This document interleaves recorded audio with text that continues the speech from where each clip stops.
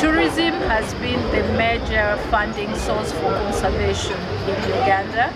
Definitely the impact of COVID took us to zero. Uganda Wildlife Authority didn't have to be funded from the consolidated funds, but when COVID happened, um, government had to come in and give them funding from consolidated funds. I might say that Uganda is not a lot to market um, the mountain gorillas, but I think there is a lot that is happening. And uh, one of the challenges that we are dealing with right now is actually the infrastructure. And uh, in the last you know, decade, we have seen a lot of development with the roads across the country. We have our own national carrier now, Uganda Airlines.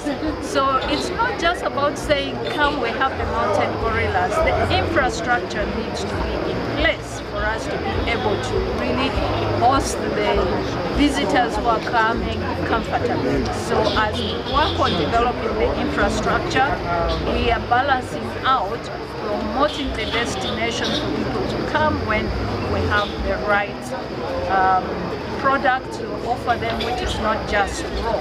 They need comfortable hotels, they need hygienic places to stay in, they need easy access to destinations. So that is all in the works and I believe that uh, as a country, Uganda, we are in the right path to be able to grow our tourism drastically in the next few years.